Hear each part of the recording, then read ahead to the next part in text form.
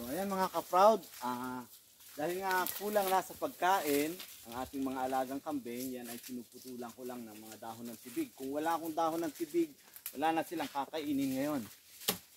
Yan, dahil napakadalang na ng damo dito sa aking pastulan.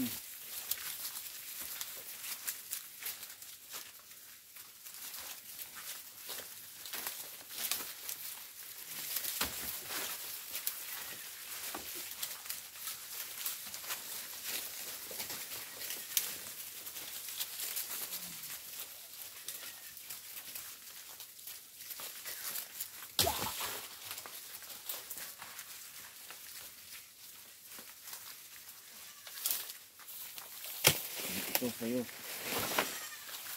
Huwag kayo dyan, malapit sa camera.